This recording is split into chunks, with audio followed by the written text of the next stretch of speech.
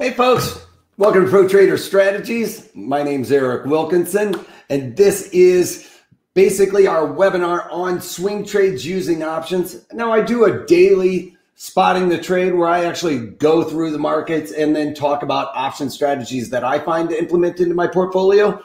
And these, what I'm trying to do for you folks is help you streamline that process in order to find the right strategy for any given assumption we don't go into a specific day and think, geez, I need to put on a short put butterfly today. No. What happens is I put on a, I look at the markets and I put on a trade based on my assumption.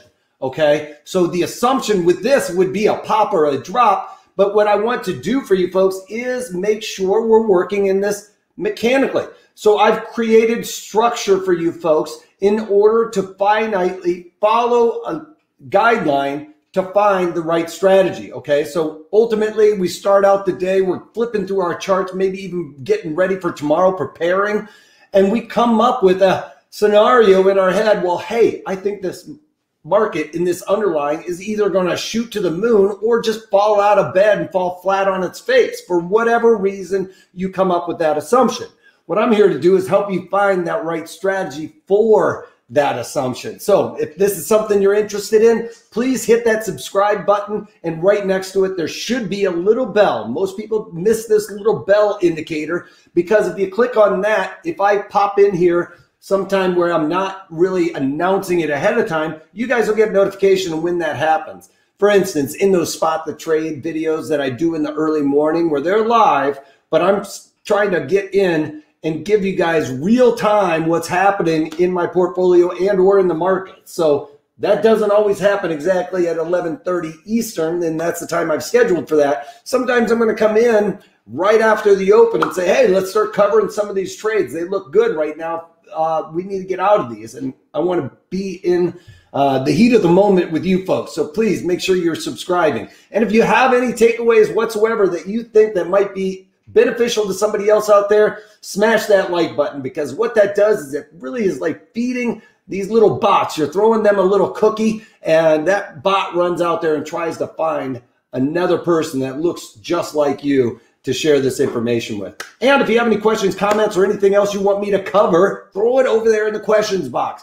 This is for you folks. If you guys have questions, reach out in the questions box. I'm going to make sure I try to answer those as quickly as possible. And keep in mind, if you have a question out there, folks, somebody else has that same question. So go ahead and throw it out there. Even if you think that there's something maybe I may have misspoke and caused confusion, again, throw it over there. I'll make sure I clarify anything before we go forward. All right.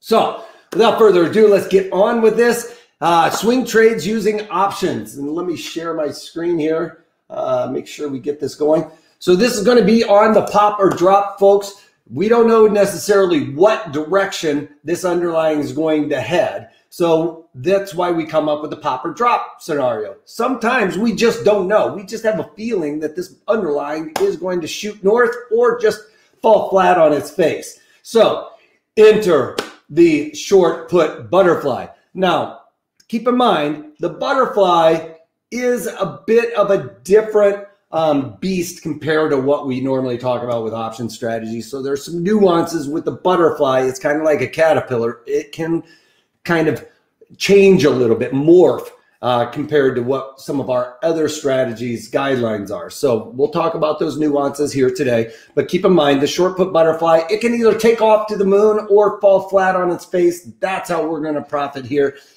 We're going to lean towards, because it's a short put, to a bullish move. If we had more of, say, you know, you're thinking it's a pop or drop 50 50, right?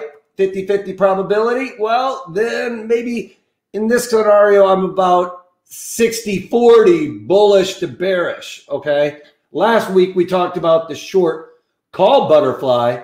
And that I talked about, we're a little bit more bearish than we would be bullish. And I'll talk about why that is in this video uh, a little bit later on. But just keep in mind with the short put butterfly, we are leaning a little bit towards uh, the risk is to the upside for this market. Okay.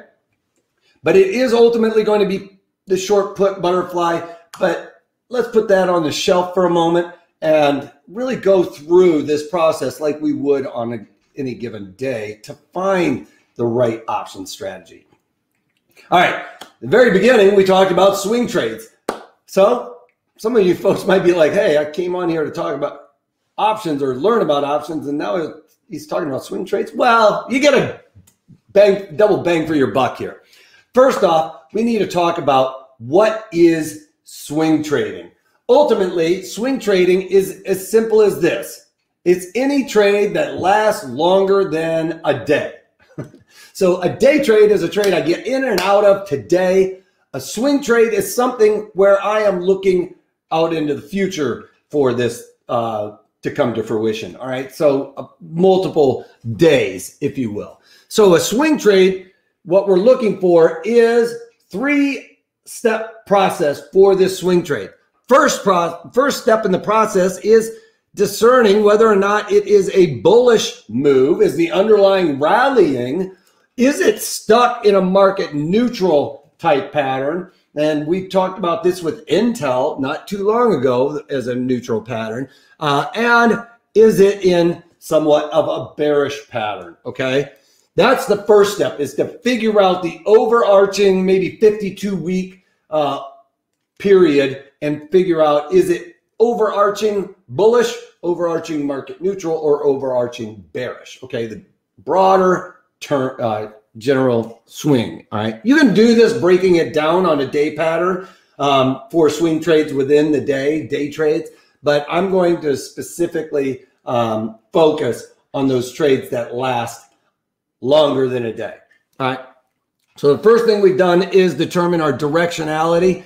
The next thing we have to do is discern what the support and resistance is. And the way we do that is in that overall trend, we are looking for different areas of where we found support and resistance. For instance, you know, if you glaze your eyes, you can see, well, that underlying lost momentum to the upside and gained support to the downside. All right. Support and resistance. And then again, you know, this one has a little bit of an oddball where it's not always even. Well, you're going to try and hit as many as you can as that resistance and then find that support. Okay. Sometimes it will breach. Uh, resistance, support. Okay. So you're going to glaze your eyes. I'll show you a couple other ways we can look at Fibonacci's and bring up our own trend channels. Uh, I'll show you how to do some of those things briefly in here. Uh, and then we found our trend, we found our support and resistance. Now we're looking for the pattern within the trend. So we have a bullish trend. We're going to be concentrating on that momentum shift. In this case, it hit up against resistance, and now we have a bearish pattern setting up. On this one, neutral trend, bullish pattern setting up. This one has a bearish trend with a bullish pattern setting up. Okay. Now we're going to base our trade off of what our directional assumption is, you know, and it can be like this where it kind of goes like that. And you think, all right, this thing has really tightened up. Okay. And when it, I talk about it in spotting the trades, when I see opportunities for a pop or drop, it's usually when you've seen the underlying make these big up and down moves, and then all of a sudden it starts tightening up and getting a little bit tighter ranges. And the way I kind of correlate that is the old balsa wood airplanes where you take a rubber band and you start wrap, you use the propeller to tighten up that rubber band. Well, the more and more you wrap up that rubber band, the tighter and tighter it gets. It's building up energy. And then when you release the, uh, the blade, it really spins if you wound it up for a long period of time. Very similar in nature to what's happening in the markets. When you see the underlying tighten up, it's really bulls and bears banging it out. And sooner or later, one of those guys is going to win, and we're going to get a pop in one of the directions. We don't always know. We can kind of feel our way through it. Maybe we have a, an assumption with what the um, company is doing that maybe it's a little bit more bullish, but we're worried about uh, that new product might fail. Okay uh, and therefore it might fall. New product might really do well, or it might fall flat on its face. Okay, so determine now do I think it's got a better chance of popping to the upside? If so, then we're going to use the short put butterfly in this case. And if we had a worry of the, the downside a little bit more, then that's when we would look at that last week's uh, strategy on the short put or short call, sorry, short call calendar. Right. So this is really kind of like what I'm looking for is either a pop or a drop, and the pattern doesn't always give us an indication of that. We're going to be looking for just the the overall market to tighten up a little bit there. All right. So in this case, what do we have going on? We have you can kind of blur your eyes even on something like this. We have what looks to be like a bullish market overall trend now I can, even before I add these lines in there, you could even draw that line where I have it, or maybe even a little bit tighter on this line, okay, as resistance. And you can see where I found some support. Now, a lot of times what I will say with when drawing trend channels in some of my other classes where we're talking about that is to hit as many of the tops as you can and as many of the bottoms as you can. It doesn't always have to be the bottom of the wick or any of that stuff, but try and just kind of glaze your eyes and hey, it's right in there. And that is just fine, folks. You can do that. All right. In this case, what I have here is I was trying to hit the major moves to the downside and the upside. Uh, you're going to have less opportunities, but those opportunities will usually be a little bit um, better. Okay. In this case, what do we have? Well, we have a market neutral, right? Market looks for the past 52 weeks in this underlying that it is traded completely sideways. And again, you could have picked this line in the sand for your resistance and supports or go to the outside ones, right? Not as many opportunities on those further out ones, but higher probabilities most likely, okay? So again, and in this case, I would be keying in on the pattern reversal off of that candle. So when we're looking for these different types of reversals in the pattern, what I want you to key in on are uh, candlesticks. I like to use candlesticks that look like a hammer, a spinning top, all right, which means the only difference is, is it's got a little bit of a wick there. A hangman, where it's basically uh, off the top like that or has a little wick at the top. You can go with those types of red candles at the top and bottom of moves. And this is individuals. I'm not trying to group these together, okay? If you're starting to group these together and they start looking like this, that's one of those things we're looking for as a pop or a drop. And they can be red or they can be even green. It doesn't matter. They they actually are giving us the same type of indications if they look like this uh, as like the hammer, the spinning top, uh, the hangman doji, okay? Those at the top and bottoms of the moves, all mutually exclusive, all right? Um, and when you would get something like them all jammed up where it looks like those topping patterns are all like in a line, that's where you're starting to see that rubber band get wound tighter, all right? Um, and you're going to get that popper a drop. So those are the types of candles I'm looking for to really base my pattern reversal on. Now, if it's at the top of a move, like in this case here that we're talking about again, I would want to see a red candle right next to it the next day. That's confirmation. So these candles that we were talking about before, these are all setup candles here and then this would be the confirmation of a top and pattern reversal. Okay. Bottom of the move, pattern reversal, confirmation to the upside. Another one that you can also keep your eye out for uh, is a rare one, is one that looks just like that. That's a tombstone doji. And those at the top and bottom of a move are significant.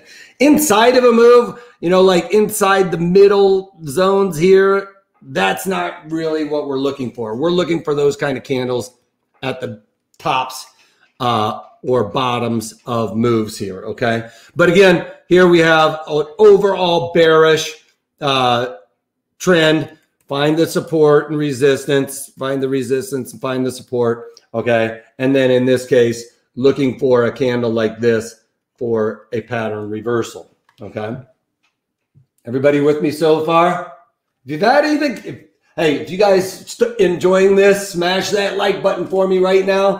Feed those bots. Get them out there. Find people like you to come and enjoy this as well. All right. Well, we talked about the swing trade setups, all of those things. Does it always work out? No, no, it doesn't. Sometimes we look at this and say, all right, I'm an aggressive trader, and boom, I did not wait for, remember that red candle? I said we would want a red candle the next day. Well, we did not get that red candle. We got a green candle that erased that setup. All right. So aggressive traders will a lot of times enter their trade on that setup candle, the hangman dojis, the uh, tombstone dojis like that. They, but they don't, uh, newer traders should wait for the confirmation. All right higher probability trade then. All right.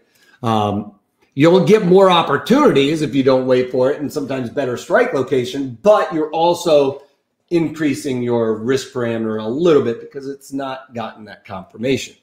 Uh, but another thing with this, uh, with these trades, when we're setting them up and following these guidelines that I'm laying out for you folks, you were able to, yes, we got involved in this, but we were had our strike location way up here, and we were selling calls because we had really high volatility. Um, and with that, we had higher probabilities of success. Now, a lot of times, if you were doing this as a swing trade, just doing short the underlying, well, this would have been a very painful learning experience to not uh, get involved in a trade before the confirmation. But the beauty in options is our strike location will allow us to be so much further away, uh, especially on short calls and stuff like that, that our probabilities of success are, are much better. We can have or we can sustain a little bit of a move against us as long as some of the other levers and pulleys in our strategy start working in our favor. All right. So that would be like, yeah, this directionality was completely in my face because it started rallying, but if volatility started coming out at the same time, then I could be very successful with this trade, despite the fact that I can't pick a directional move to save my life. Okay, so you have that. You know, a lot of times what we do is we're getting involved in trades based on, you know, I think this is right. So you have a little bit of doubt in your head.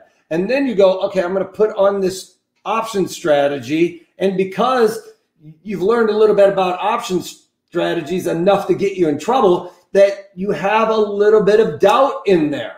And that is going to cause you to get out of the trade at, you know, the wrong time, if you will. You know, in a directional move against you, you're just thinking the move is against me. I called it wrong. In the meantime, maybe volatility is really coming out. So my goal is ultimately to get you folks to understand these levers and pulleys, and that will get you thinking mechanically with structure. We're following a structure uh, that I've laid out for you guys. And when the structure is broken, then we rip, pull the ripcord, we get out, right? Because we're following a finite guideline, if you will, however you want to think about it, all right? I've got guidelines, rules, whatever you want, structure, however you want to think about it. This is what I'm trying to do for you so that when you get in and out of these strategies, it's not emotional.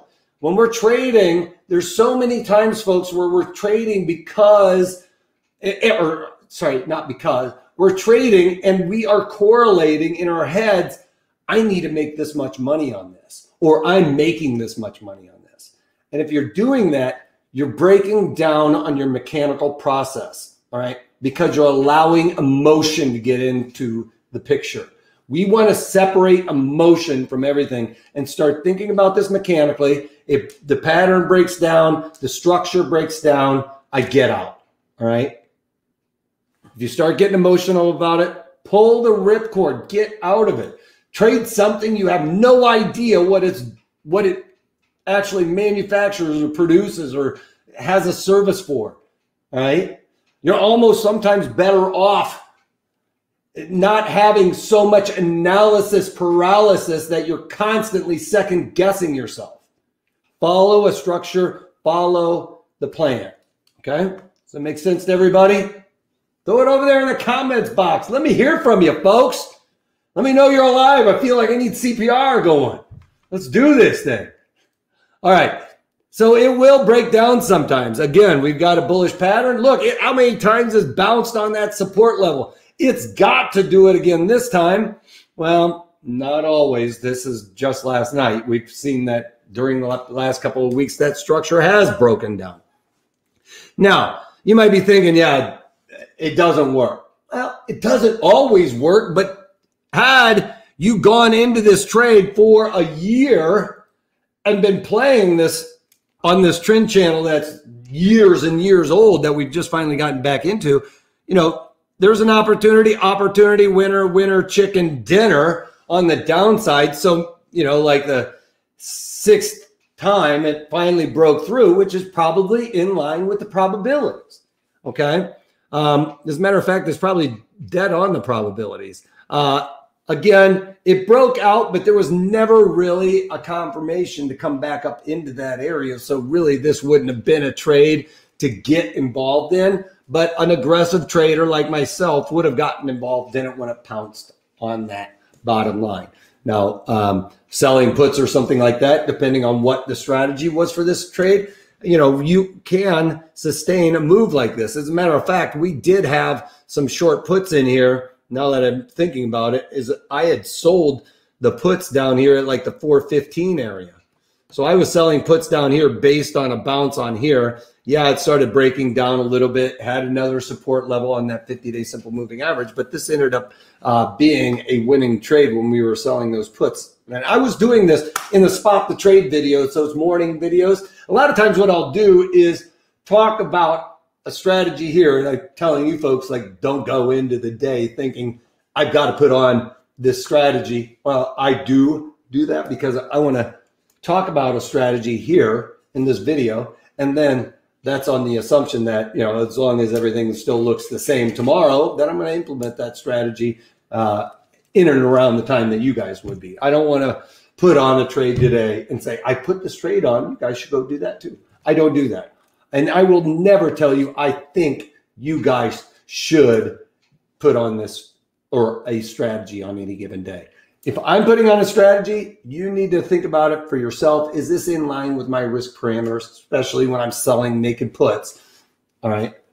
And, uh, you know, maybe you would do the put spread in that case. All right. So a little bit of a review, right? How do we swing trade? What's the first step? Anybody? I'll give you a second to type. Some of you guys type faster. First step is identify the trend. Second step, support and resistance, right? Next step is what we are basing our strategy on the pattern, the pattern within the overall trend. So, bearish trend, you know, we're looking for that pattern. In this case, we're kind of looking for something like that, or just an idea in and around this underlying, like we think it's going to pop or drop. And why do we use options? Well, I talked about this. You're going to have better probabilities when you have your strike location well outside of where we're the realm of possibility in the case where in this case where i was talking about selling uh, calls against this one my strike location was up here above the second resistance area yeah it did break through it a little bit um, but we got another pattern reversal indicator. This one did get confirmed, right? That one got confirmed to the downside. So, uh, you know, a lower risk tolerant person, I would suggest waiting for that confirmation. Those are the ones that usually end up following through. The ones that don't get confirmed, like this one, you can see can become become very painful. And if you were doing this with a short like shorting the underlying, that would have been very painful on that move. You would have been out as soon as it broke above that Fibonacci, hopefully right here. Uh, as soon as we got above that, hopefully that's where you would have pulled that ripcord because the rule is if it looks like it's going to settle above that previous day's top, if it looks like today is going to settle above that, I guess, then uh, that's time to pull the ripcord on that trade, staying mechanical. Again, here, once it breaks down, can't get back in there, pull the ripcord on it. This has broken down, uh, especially if you're doing this with shorting the underlying, right? Or getting long the underlying in this case, um, then you know trying to get long this you need to have that move happen it starts down ticking that's going to be painful but in this case with options and having high volatility uh, during the time when we set this up i think we set it up like right around in here when we were thinking we were going to bounce back after it broke out well we didn't. We did start trending sideways. I got the directionality wrong, but like I said, I was selling puts at the 415 strike. I would be happy to get long right there at the point of control. I talked about the reasons why in the spotting the trades, but we did get volatility coming out, directionality against me, but my strike location was very uh, nice and allowed me to stay mechanical on this. So really, we're trying to increase our probabilities of success here. All right, so this is one that I'm looking at. Remember what I talked about after it makes those big moves, like we can see on this one, right? Where uh, it's made some nice moves, juking back and forth. Like this underlying doesn't usually look like it stays very still, but all of a sudden, boom, we start getting that little windup. Yes, it is right around the point of control. And generally speaking, I don't love getting involved in a pop or drop situation when it first gets to that point of control. One thing is, we've got this big earnings thing down here, right? What happens around earnings? We usually expect volatility to start increasing, okay? So that's something that we have as a known, kind of like in geometry, we have some knowns. Well, it's it's a known-ish in option. So usually we see volatility increase heading into one of these big events like an earnings event. Why? Because it's a big unknown. And anytime there's unknown, there is angst. And angst really is volatility, folks. It's it's uh, you know worry, fear of missing out, all of those things. Um, so we will see volatility usually rise heading into a earnings. Okay. Now, with this particular underlying, I have a bit of a thesis going on heading into this earnings. We've seen this year a lot of opening up of online gambling for uh, sports bets. All right. And I know where I'm from, we didn't have legalized gambling online. Now, we, how you doing out there, LOL? Uh, now we are starting to see that a little bit of a different story, right? Now we're starting to see it show up uh, a little bit differently. And with this one, or with this one, what we're seeing is all of these states are opening up. And I don't know about you, but I've got a lot of buddies that are going hog wild on taking their opportunity to sports bet online. Having said that, you know, DraftKings was giving like a thousand dollars to everybody uh, who put in their first sports bet. All right, what does that tell you? If they're going to give every single person that opens up an account a thousand dollars, they probably think that they can at least make two thousand dollars off of everybody signing up. Right, the thousand dollars they gave you back, and probably cashing out for another thousand dollars. Why are they giving you a thousand dollars? They want you to bet bigger. They want you to get used to betting big. Okay. A thousand dollars is just chump change, somebody might think. All right. And therefore they get you hooked. All right. They're they're the they're the the crack salesmen of this century, I guess. Um, anyway, but with that said, I think that they are going to pop. But I am worried about my thesis that only it's my degenerate friends that are making making these bets. All right. I don't I don't bet. I, I would rather bet on stuff like this where I have higher probabilities myself. Um, but each to each his own. I am then probably like 60. I'm probably more 75 25, but let's just say now I'm 60 40. I, I believe the upside is more imminent than the downside, but I am uh, wanting to cover that base. Okay. So that's how I come up with my pop or drop. However, you guys come up with your pop or drop, just kind of think I need to add some type of structure ish to it. And when I say structure, I'm not saying you have to follow this to the T because it's not always to the T, folks. It's a little bit of wiggle room in there. Uh, it's a little bit of a wag, if you will, uh, to get there. All right. So I'm going to come up with some other guidelines, like I might say a specific delta, and we don't always have that specific delta. All right. And I'll show, I'll explain that and how we manage that uh, process as well.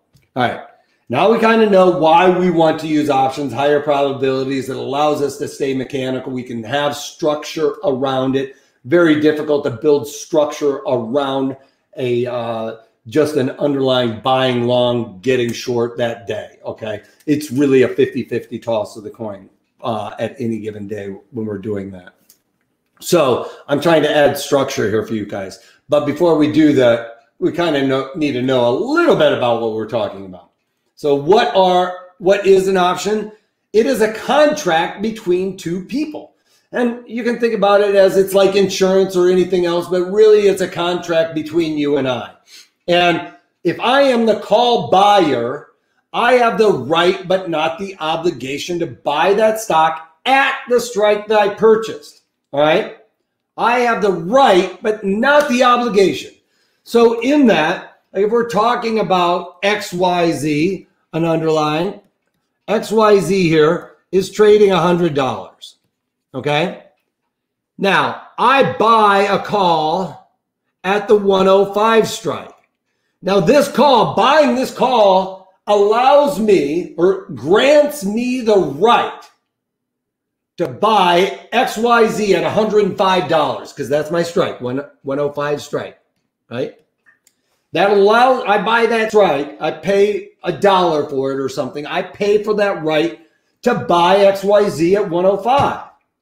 Do I want to do it when XYZ is trading 100? No. I hope not. I hope you don't.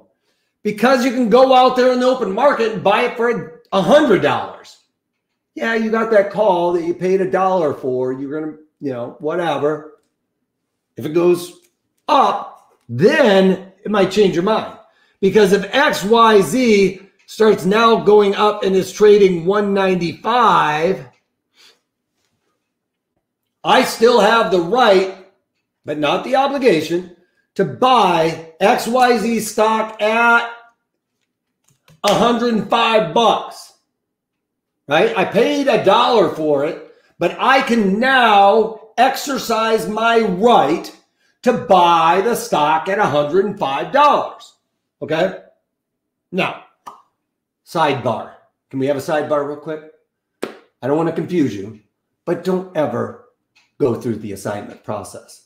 Okay? The reason why is because in this day and age, we can go out there and buy stock for zero commissions. right? we can buy and sell options pretty cheap. This assignment process is pretty expensive. right? So let's not go through the uh, my point. No, I was doing that right. The assignment process is a little bit of an expense. All right. And the other reason why I don't want you guys to do that is you're going to be leaving money on the table. All right. And I'm going to briefly explain this.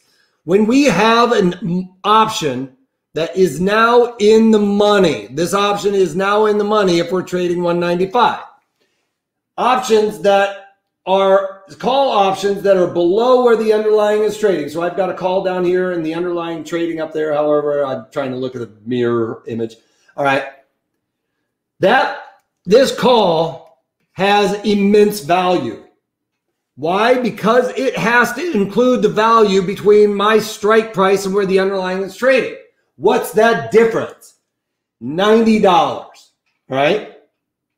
So it has to at least include that benefit. So if I go through the exercise process, The stock goes into my account at 105. It looks great on the P&L when it's trading 195. I got $90 of value, right? So that seems pretty enticing. But the price of this uh, strike has to include the benefit, meaning it has to at least be worth $90 already. So if I just sell the option, I know that at least I've gotten that much value in it. And oftentimes there's going to be some extra money in there. There's going to be like an extra $2 because it might be actually $92 for that to actually buy or sell that 105 strike now because there's $2 of theta or volatility kind of packed in there still. All right. So if $2 doesn't mean anything to you, keep in mind when we're trading options, there is an option contract multiplier of 100. So you're leaving $200 on the table. And if you went through the assignment process, you left that $200 on the table, meaning you just didn't care about it, and you paid $35 to go through this fund process. So really, you left 235 on the table, folks. That's pretty expensive learning lesson. All right. So offset them, go out there. Who cares if your P&L doesn't have that $90 in it? It's going to have it banked. All right. You're taking that cash off the table. That extra $2 you won't ever be able to lose now. All right. That extra $2 being that theta decay, the $92. All right. So the call seller, because he got that premium, he collected a premium, has the obligation to deliver the stock. So you can kind of think of it as the option seller is kind of like the insurance company, um, where they collect a premium. You know, like you're giving them ten dollars a month on your uh, for your uh, term life insurance for a million dollars or something, right? Well, you're not paying out very much as the person paying for the premium to receive a nice big windfall in the case of a call buyer trying to make that big windfall on the move higher. Whereas the call seller is usually a little bit more math oriented, maybe an actuarial scientist or something. And he's looking at it like the probabilities of that happening are so small, I'm willing to take your money. Okay. And that's exactly what an insurance company does. They're looking at your probabilities and determining what they need to be paid for that risk. Same thing for a call seller. Okay. And as things get crazy, what happens with that call seller? Like, you got to pay a lot more because I'm not willing to take that risk. All right. And the put buyer has the right, but not the obligation to sell that stock. So, for instance, if I buy the, uh, do I still have my pen? if I buy the put below the market, right? So I'm buying a put, I buy the 90 put, that gives me the right but not the obligation to sell the stock at or sell that st- stock at 90. When it's trading 100, do I want to do that? No way. I'll sell it at 100 right now. Boom. Right? But if it goes down to 0, do I want to sell that stock at 90? You bet your bottom dollar I do. But again, it's the same situation, folks. Uh, the assignment process is going to be costly. Better to offset your trades if you really want it. All right. Um, so uh, if you are the put seller, you're willing to buy it there. You are going to take delivery. All right. If I say, yes, I want out of my stock at 90, I bought this put, right? It goes into that dude's account at 90. He's long. You're out. You got that profit. You go through that assignment process. No, you left money on the table. I don't even care if it's the last day. There's still probably a dime, a nickel in there, uh, based on you know anything being able to happen sometime soon. So don't go through that assignment process. Offset them create that position. Everybody with me right now? Hey, if that, guys, if that was beneficial, please smash that like button if you haven't already, because that will share this information with somebody else that the uh, bots thinks could benefit. So please help those folks out. All right. Now we've talked about pricing, right? I've talked about if I'm a call buyer, I have to pay a premium for something. If I'm a call seller, I get to collect that premium. So there's obviously pricing and options, but we have to determine whether or not these options are cheap or expensive, right? So what I want to do is go look at this underlying pre, uh, options page. This is the option montage, for lack of a better word. I'm, that's what I call it. Uh, so if you ever hear me say montage, that's this page. So it's where all the pricing is. Now, when we're trying to determine whether or not options are expensive or cheap, we have to look at what the implied volatility is for that underlying. All right. Anybody know what implied volatility is? It's forward looking volatility. It's what the expectation of future volatility is, right? Historical volatility is what just happened. I would rather be forward looking, right? I want to look out forward and say, this is what I expect, okay? Or this is what we are expecting going forward. All implied volatility is, folks, implied volatility. I'm just going to do vol is Vega. Now you're going to find Vega on the put side and the call side. Vega. All right. So what happens with all of these Greeks, right? Let's just get rid of all the mystique around these Greeks. They're really not that scary. Anytime we're talking about Greeks, we are talking about advancement. Okay. Um, meaning the underlying moves higher by a dollar. One day goes by volatility increases by one percentage point. All right. So it's an increase of one. Right. So if we have decreases, the underlying starts going down, we have to add a negative to all of this. All right. So if volatility goes up, we're looking at the Vega by goes up by one percentage point. Right? What happens? Vega goes into our premiums.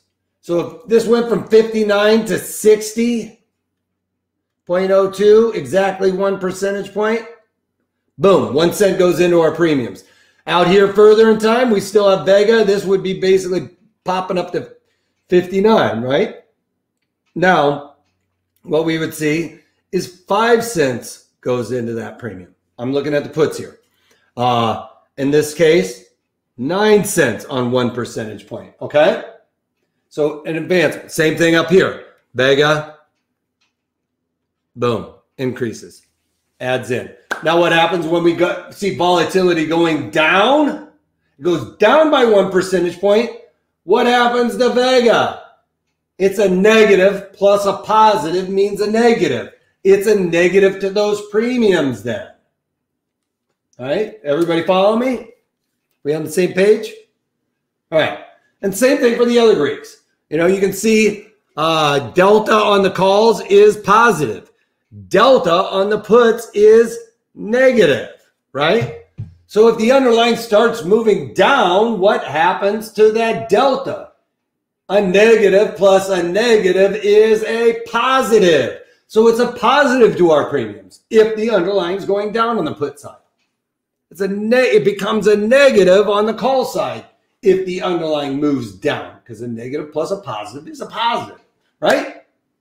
Make sense? All right. Thumbs up, smash thumb.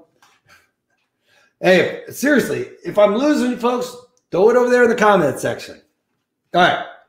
So we can't just look at these numbers and determine whether or not volatility is high or low based on that number 59 i look at 59 oh my god tesla is up in the hundreds.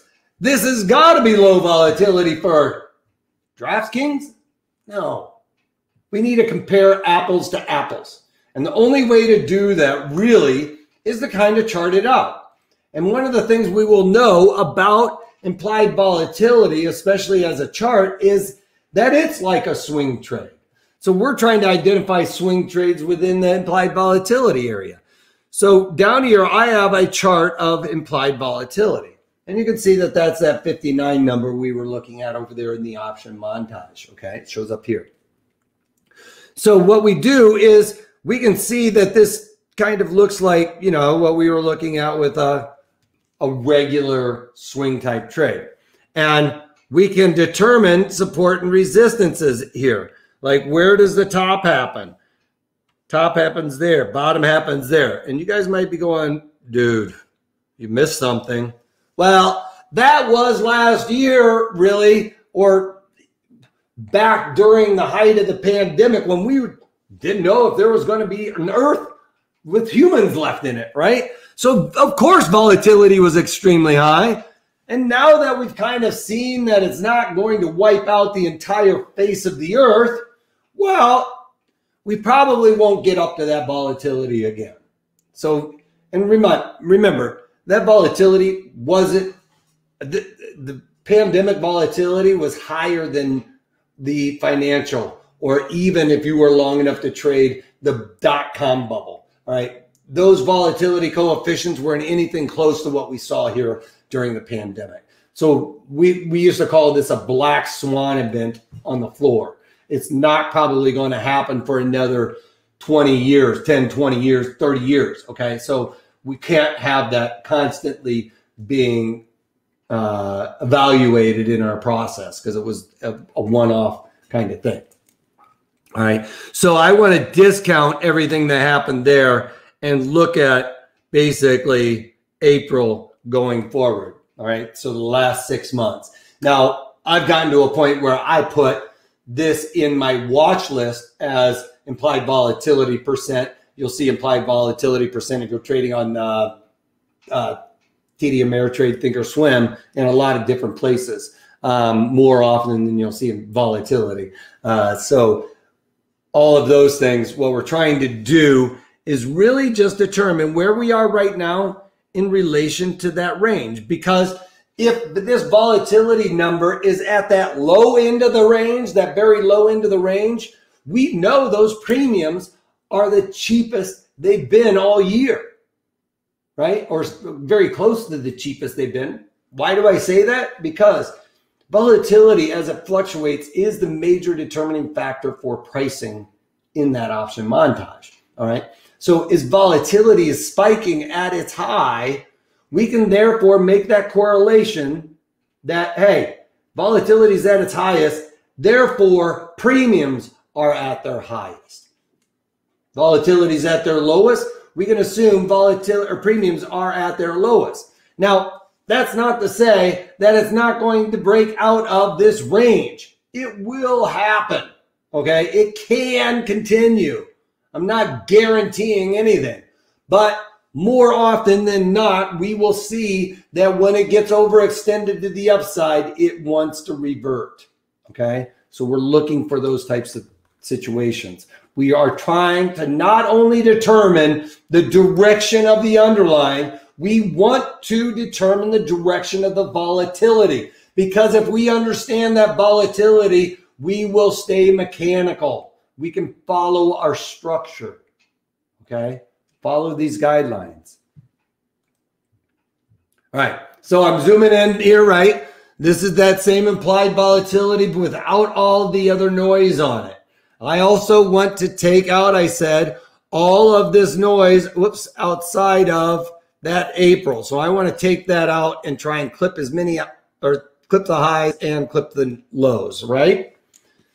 So I, I'm determining this is 75 there. We know this is 59 and a half right here. And then here I'm going to be looking at this as being, let's just call it 50 for math. All right. So with the, what the, um, the script, like my six month script, Thinkorswim's 52 week script, basically what it does is it takes where the current is, the current implied volatility is, and you subtract and it subtracts the low. All right. That sum really is trying to determine where this location is off of that low. All right. And then we take that and divide it by the high implied volatility. This is only if you really want to dig into the details, folks. You don't have to get this finite. Um, so a high minus low then determines the range, right? Where we are within that entire range. So I've got the current minus low is uh let's call it nine and a half, 9.5 divided by 25, and that gives me right around 36 percentile. All right. I usually say below here is buy signal, up here is sell signal. All right. But I mentioned butterflies are a bit of a different beast, right? It's a short, but uh, I want volatility to be low. Yes, because it's the nature of the beast, the way I set the strategy up, and I'll explain that a little bit further. No, with this strategy though, it is a short put butterfly, so we are leaning towards a bullish move. We will profit just as well from a fall to fall on your face scorpion crash. Scorpion is where you fall on your face and your feet come up and clip you in the back of the head. Um, or a blast of the moon like uh, William Shatner did today with Blue Origin, right? So that's the kind of scenario we're looking for the blast, but it might be a scorpion. All right, so that's the this is devil of the details. This is it. Look, I'm I'm down here. Uh, volatility is pretty cheap. So with the short put butterfly, it is a short put butterfly. And the only thing that really follows suit is the fact that it's a short put and we've got a bullish assumption. Usually, when we are shorting something, we want volatility to come out. Well, with this strategy, we actually want volatility to expand and the reason why is because the two strikes that we're buying are going to be affected by that volatility coefficient more than the other ones. So if volatility expands, it will have it will help the ones that we bought. And I'll show you how that works out. Uh, we'll show you how that shakes out. All right.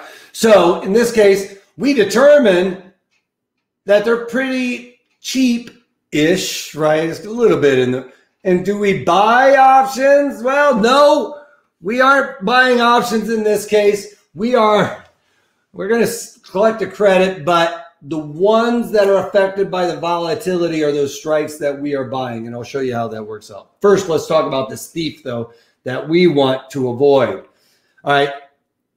If you have the thief come into the picture, it's basically uh, I'd like to call it about 45 days the expiration and in.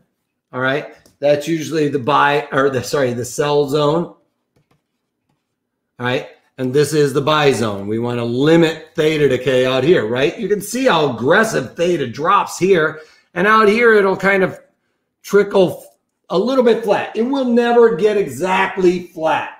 There's always going to be a millionth of a uh, a penny that starts ramping up to you know a hundred thousandth of a penny.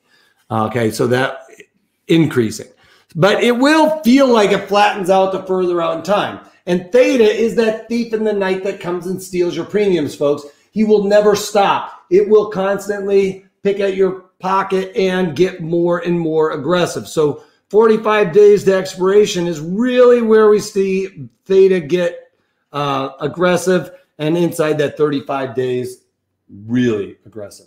So now again, we're doing a butterfly. Remember, it morphs. It is a short put butterfly. The only thing that really holds constant here is we want a lean towards the bullish move. Selling zone, that's when we want the thief on their side. But we are going to get out here in time because of the nature of this strategy the the two strikes that we are buying are all extrinsic value. We're going to sell one that is in the money, and that one is where we collect that big fat credit that pays for the entire strategy. Okay, so that's what kind of flips the uh, this strategy to make it an upside down cake rather than a regular cake. So let's get on with it and talk about this theta. Further out, theta affects the nearer duration options more than the further duration options. So this is SPY calls. We've got theta puts. We've got theta. One thing you'll notice about theta is it's always negative, right? It's an advancement. These Greeks are an advancement. Do you ever go back in time? Do you ever wake up and it's yesterday? No. So theta is a constant erosion of your premiums. You can take advantage of it. Like if you sell something, you want theta to help you out and like, hey, take 50 cents from this premium, right? Um, but further out in time, you can see it's less. Because for instance, this is 128. What happens 28 days later? Theta really doesn't look like it increased. It's not flat. Note that if this was, you know, zero, zero after here, uh, you know, running out the decimals, these are rounded up. This one is actually probably, uh, you know, zero, one, one. Okay. So it's a rounding thing. But you can see you ramp up now from uh, looking at this 32 days, right? So 32, 37 days, it's in that wheelhouse of theta, and we saw how it started ramping up already. Well, theta here is 10 cents. What happens when we move in 30 some odd days? Quadrupling theta. So those options that we're buying at the money, we want to limit that theta decay for them as much as we can. All right. So let's take a look at ours, our theta kind of erosion. Same thing, 28 days here we're looking at. And you move in 30 days from here, basically 128 to 100. And our theta in this column increased ever so slightly. Now let's look at 30 days to basically, uh, you know, it's a, it's a few more days. Don't get me wrong, but that few more days is not going to make theta look like that, right? We can see that this is a massive increase in theta. So I want to avoid that. I do not want to buy my at the money options with that kind of theta decay because the ones that we are selling to collect the premium for, folks, they don't have a whole lot of theta in there. All right, it's going to be more the um, the actual intrinsic value, that benefit that we are entitled to. Okay, that pays for this strategy. All right, so we want the short put butterfly. Slightly bullish assumption, but I'm worried about the downside, so I want to hedge my risk to the downside in case, you know, my, all my friends are geniuses and they're actually running the uh, tables on DraftKings betting. Okay, I doubt that's happening, but you know, we can always hope for them. All right. So I've talked about this the rate of change, right? Delta tells us the rate of change for the dollar move higher, right? A dollar move higher. Delta tells us that our premiums are going to jack up in the calls by that much. And a dollar higher, our premiums in the puts are going to lose that much, right? But more importantly, what I want you to take away from Delta is not only is it going to change the premiums, all right, for every dollar move higher or lower, we need to know that for, you know, pricing, but it's data. And when I'm trying to tell you folks that we need to be mechanical and stay with structure, this is how we're going to do it because Delta tells us data. It tells us the probabilities. right? It or odds, the odds of the trade, right? It tells us, um, it allows us to know what the probability of touch is. And this is a floor trader thing. It's two times that delta.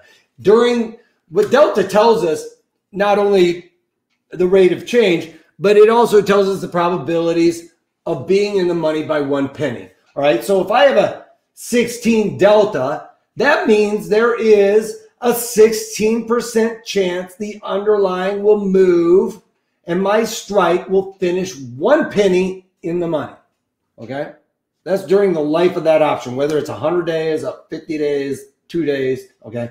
The probabilities are the probabilities of being in the money by one penny at expiration.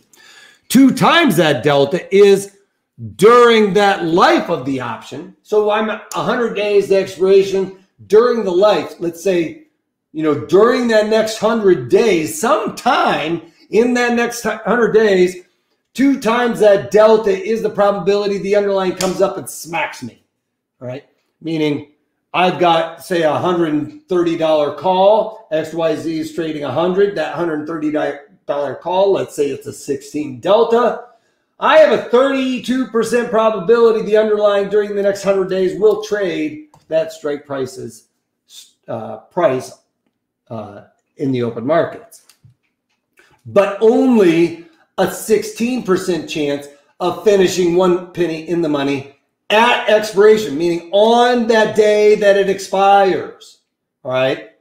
So the probabilities of us seeing my strike price trade that strike price two times better than my strike price being in the money at expiration, right? So we're trying to get the probabilities in our favor. Anytime an underlying smacks our strike, that is the key to pull the ripcord, all right? Stay structured, especially in the beginning, getting used to trading options. Stay mechanical. I see my strike price trade, I'm out, all right? Especially learning to trade it. Later on, you can squeeze it out a little bit more. All right. Maybe you're doing uh, two tranches, meaning a two lot, or you know, I don't know if you're a big trader, you're doing 20 lots.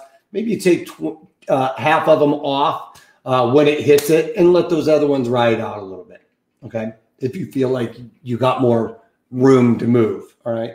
But stay mechanical, stay with that. I beat the probabilities uh, trade. And that's usually when we've seen our strike price trade. And again, with this one too.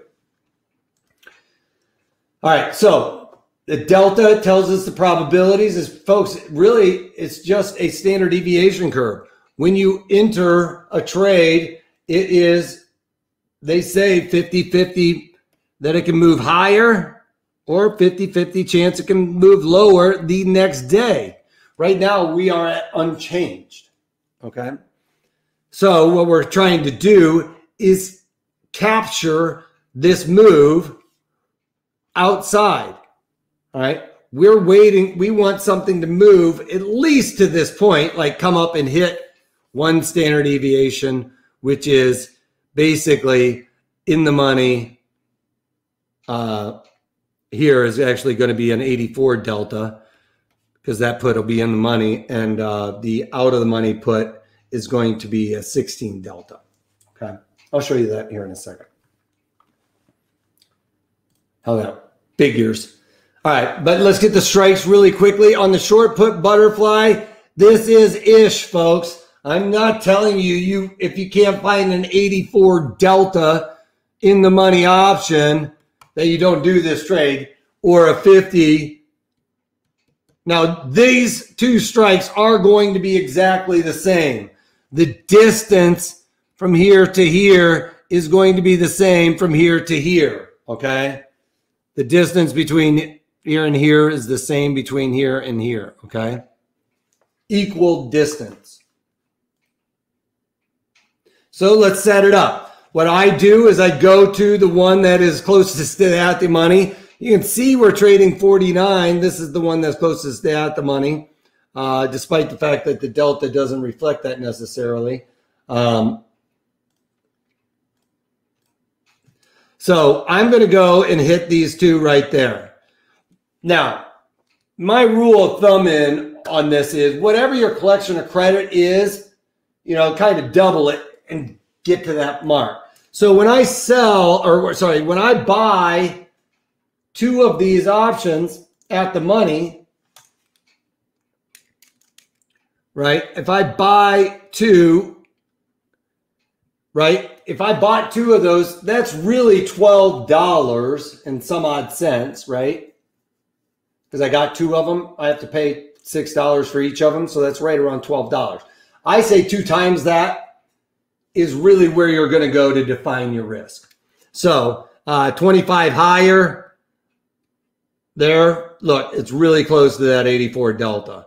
Um, you know, 84 ish delta is where we're looking for. And I will usually look for the one that is in the money first to get that collection, right? So I would 25 higher, then that means I need to move 25 lower, right? 25 higher, 25 lower, based on that two times the collection of credit there, or $12 times two is 25. We've got that. Or you can look at the 80-ish, 84 delta. That seems easier for you. Well, you can see it's not always that 16 delta out of the money. Um, I usually look for that 84 delta in the money first and then go equal distance down because that one's not always um, that delta. Okay. Uh, the other thing we have to do is we know it's $25 wide, right? I want to make sure when I'm bi- building this out, I'm risking one to make one.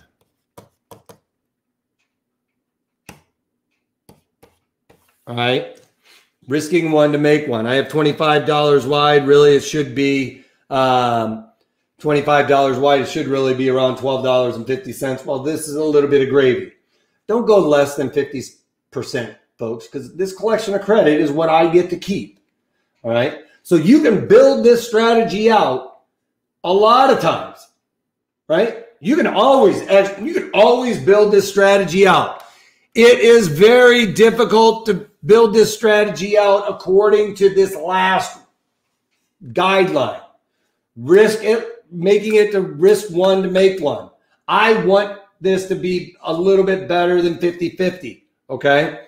Meaning uh, my credit is a little bit better my reward is a little bit better than my risk in this case. All right. Now, do I think that DraftKings is going to rally that much or fall flat all the way down to 25? Not necessarily. One of the natures of the beast here is we talked about this is trading 49.82. That's right at the money. That means this is all something that can go away. We're these ones that we're buying. Okay. It's all theta decay. It's all volatility started coming out. These are the premiums we're going to start to see erode faster. These ones that are in the money right here, there's not very much extrinsic value that will erode. Remember, this is the one that is in the money. It has to include $25 in benefit, right? We're trading 49.82.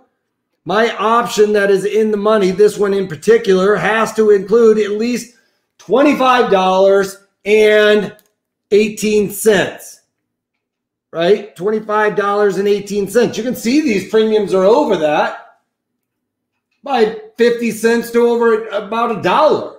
That's what I was telling you folks. If you cover these trades that are in the money, you're leaving money on the table. Or I'm sorry, if you exercise your right on a long put that's in the money, you're leaving that money on the table. You're leaving almost a dollar on the table, which equates to a hundred. Okay. So don't do that. Get out of the trade. You know, you leave $100 on the table plus the $35 to exercise your right. Cost you not, it costs you a couple dollars to get out of this trade, nothing to go out there and sell or sorry, uh, offset that trade, keep that extra hundred dollars, and then just go out there and sell your underlying in the open market. Okay. And this is what it's going to look like because I built this out where my reward is slightly better for the risk reward. You can see that it's not completely even. It's a little bit better risk reward than normal. All right.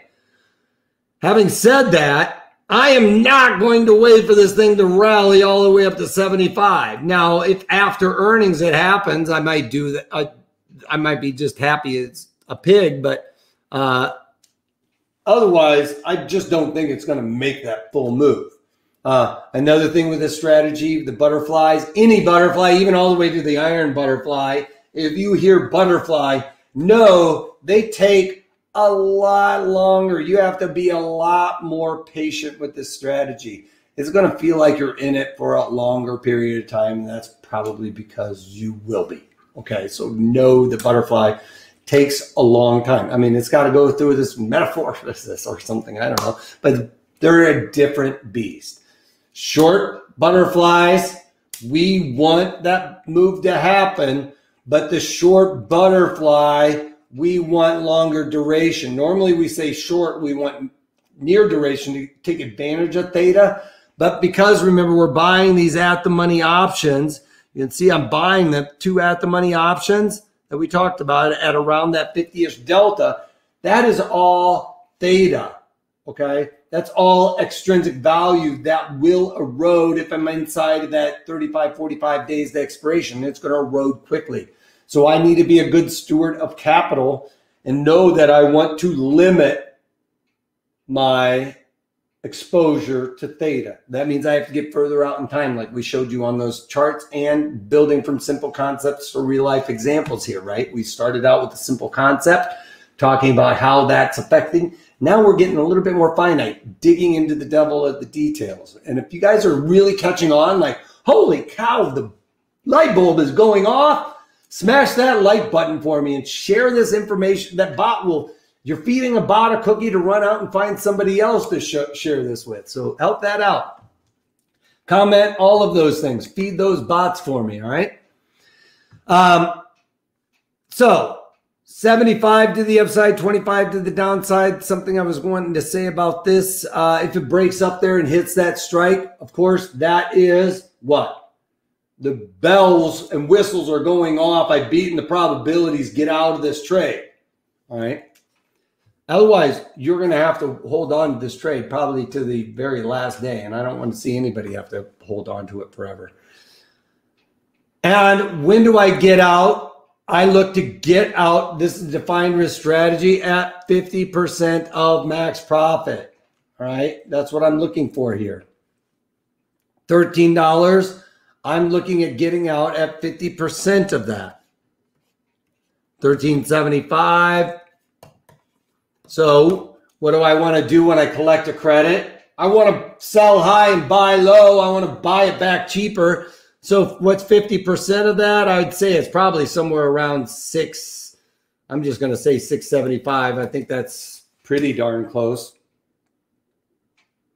It's close enough for government work. I know it's not right on, but that would be if all of a sudden I saw my strategy trading for six six dollars and seventy five cents that's 50% of ish max prof.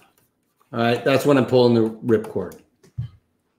All right, if you're setting this up, um, and let's say you set up this strategy and five days have gone by and it just hasn't done anything, you, you can have a time stop on this. I'm pulling the ripcord. I'm just, I'm done. I'm not going to ride this out. And that would be on a loser. I'd probably uh, look to cover it if it didn't happen right away because I'm looking for a quick move, right? I'm looking for that rubber band to snap and this thing moves. So uh, if it doesn't start happening, well, then my thesis is out the window. Okay. So if your thesis changes or anything changes, your gut instinct changes, go with that. Uh, it's your limbic saying, hey, dude, I know you can't understand this, but I'm your limbic. I can process this information faster than anything. Problem is, your limbic isn't using a voice, it's deaf. It can only give you these feelings like you're doing something right or wrong. So go with that. Um, always. If, if there's nothing else you take away with, go with your gut on any trade. Seriously, especially when you first start trading. You can't imagine how much information that part of your brain is is cranking out. And so go with it. Uh, don't make that mistake of second guessing. So, like I said, we're getting out 50% of max profit. Do not ride this into the sunset. All right, 50% of max profit we're getting out. And that will happen. If your short strikes are hit, that will happen. Where is your break even? One thing I do want to mention here is the break evens. The break even is you take your short strikes and determine your break even from that. So on the call side, it is the 75 strike, which is right here. That 75 strike minus the 1375. Oops, 1375. So that brings the break even that way, right? On the, uh, the actually, this is the out of the money put, or sorry, the in the money put, sorry, in the money put. Uh, the out of the money put, this is that one that's like basically around the 16 ish delta. The out of the money um, put is basically plus 1375. So anytime you get a credit on a strategy, folks, that credit is an aid. Okay. It helps you out with your break evens. When you buy an option, I buy a call, I buy a put, that increases. I pay a debit, that increases my break even uh, parameters, right? It, you know, put side to the downside, call side to the upside um, when you're buying. So those are the, that's how we determine our break evens. You take the credit, subtract from the uh, in the money put, add to the out of the money put. So our break evens come in a little bit. All right. We need to be at least at that point at expiration for our break even. These break even parameters, they they constantly will adjust, especially with a very intricate strategy like this, because levers and pull. If volatility increases, it will help us with this strategy. The reason why is we talked about this a little bit. Volatility affects further duration options more than the nearer duration options, just like we talked about with theta. Theta affects, you're saying in your head, the nearer duration. It ramps up, right? Volatility affects further duration options more because there's more unknown. Volatility is associated to the unknown or fear, right? So volatility affects further duration options more, and it will affect at the money options more than the further away ones. All right. So when we're buying an option, we're buying that at the money option that is really affected by uh, volatility. We'd like to see that volatility go up, right? Because that helps us. and vice, it's going to affect those premiums that we sold. Also, they're going to get inflated as well but not as much as the at the money options. Okay, we probably can see that if I go back to here, we can see uh, in this column here, Vega, right? It's not going to give me my pen. I'm going to have to go click on it. But if we look at the Vega in this column here, right, further out of the money ones compared to the ones that are right here at, right, uh, and Vega is right here. It's harder to see, but those versus these, right? So the ones I'm buying are going to get inflated if volatility starts increasing. Um, so that's the ones that I want to see that volatility jack up on. Okay. So during the life, even if this underlying doesn't move and doesn't get my directional move, but I see volatility expanding, that will help us in this strategy. All right. We do want to see a big move in either direction. We will benefit from it because if you think about it, I have a short call spread. I have a short, or sorry, short put spread. Right. I'm selling a 75 put, which is really expensive, and I'm buying a 50 put. So this put spread is somewhere like 26, 25, $26, right? Almost the difference there. So that's a lot of premium to pay for my long put spread, which is a 50 put and then selling the 25 put, right? So I pay a debit for this one. This debit is much less than this credit. All right. So this short call spread that's in the money pays for the entire strategy. And that's again why we would rather see this underlying take off to the upside because I'd like to see that in the money call or sorry, in the money put, the 75 put go out of the money. Because then if that 75 put is worth zero, I got the most bang for my buck I could, right? That was the most expensive option I collected a credit for. So even if all of the other ones expire worthless and my 75 put expired worthless, that's the one that paid for it, right? So we're happy about that. And, you know, this strategy, if it falls on its face and all of my options are in the money, Well, the strategy is still going to work out because my long put spread that was super cheap beforehand is now very expensive. So I bought it cheap, sold it for more, right? Because this would increase in value. This one would end up being worth $25 and this one worth zero, right? So you guys have any takeaways, please share it with everybody else by smashing that like button. If you have any questions, comments, or anything else, even if you didn't have the opportunity to do it while I was live here today, I will circle back around. I often will find that people are asking questions later on. I will make sure you folks are clear concept as well. And before you go, please make sure you guys hit that subscribe button. And next to that subscribe button, I'm going to ask you to do one more step and check out that bell because that bell tells you, hey, Wolfman's going on unannounced. I know you got these schedule announcements. I give you those notifications, but this one's unannounced. I'm not told to give you the unannounced unless you click on the bell. So make sure that bell is also uh, giving you a notification. All right. If you guys enjoyed this at all, I'm going to throw something over here in the chat window to give you guys a link to this. All right, there it is. It might take a second.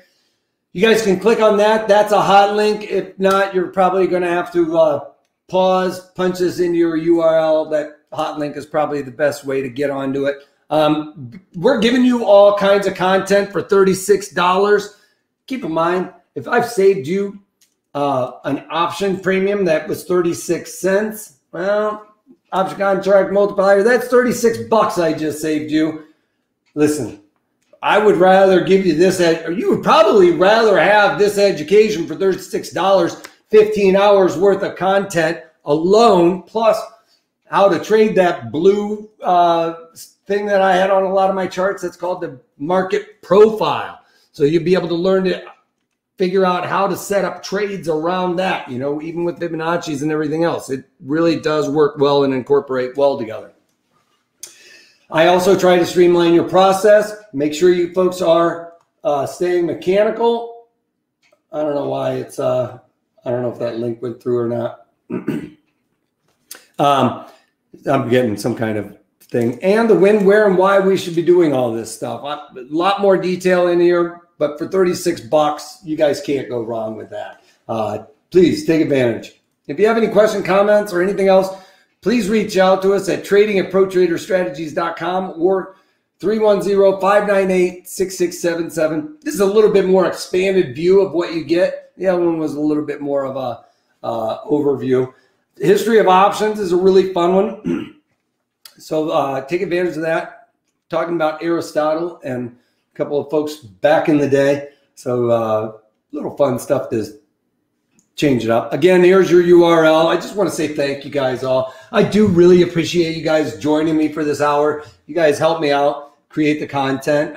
I'm looking for you folks to drive this in your direction. I want you guys to take away as much as you can from these videos. So please don't feel like you're asking too many questions. I'm here to answer those questions. I'm trying to get you guys comfortable with this. And the only really way to do that is to have some good back and forth. So I do appreciate you guys participating. And before you go, please smash that like button. Feed those bots to go out there and chase down somebody like you. All right. Let's get those bots running. And don't forget to comment. I will come back around and uh, chat you guys up if I see them. But that's all I got for you guys. Appreciate you guys sticking around with me. And I know we finally got some of those kinks worked out for you today on this video, at least. All right. That's it. Uh, if you can't take that, take it easy. Bye for now.